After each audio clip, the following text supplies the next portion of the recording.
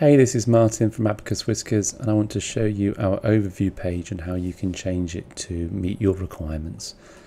So, there's probably not a great deal of things you'd probably want to change on the overview page.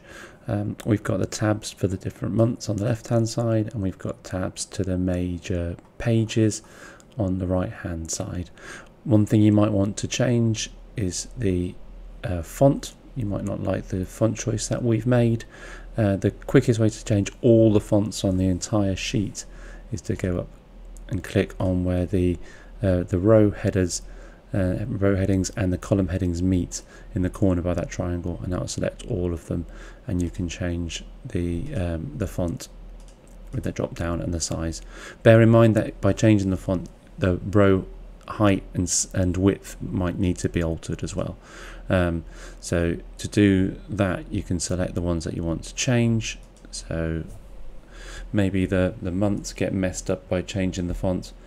Um, so click on the furthest left column uh, header uh, heading that you want to change, U, and I want to change all the way to AQ.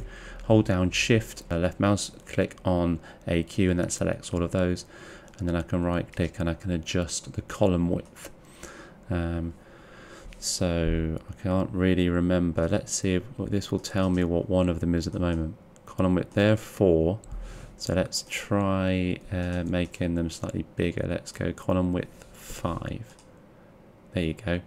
And that's adjusted it a little bit and moved everything over and keeps everything looking looking nice. Okay? Um, row height works the same way.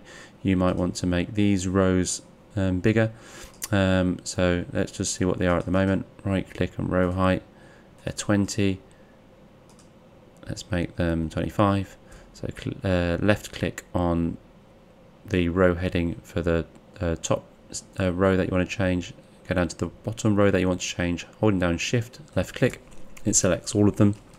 Right click row height and then you can change that to 25 um, bear in mind that will change it all the way across, which makes these tabs slightly bigger uh, or smaller if you go smaller, uh, and also those um, cells within the calendar overview there as well. But actually 25 doesn't make a massive difference, uh, it, it might be useful to you.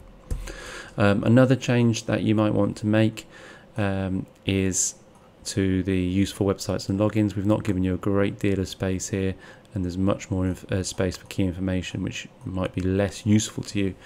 Um, if you're going to extend this, I would move the key information down a little bit first of all. So click on the key information cell, drag down a few cells and do control C to copy.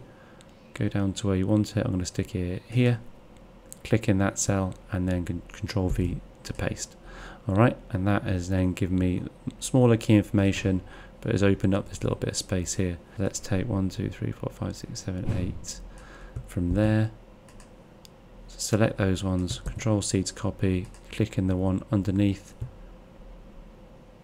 and then do Control V, and it's pasted it down. It's got 1, 2, 3, 4, uh, 1, 2, 3, 4, 5, 6, 7, 1, 2, 3, 4, 5, 6, 7. So I click there, Control V. And we've got loads more useful website login uh, and key information space, but the formatting for the rest of the page hasn't been affected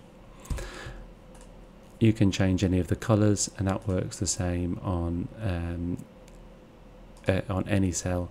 You can change the color of any of the headings uh, and any of the cells that you want by using the fill function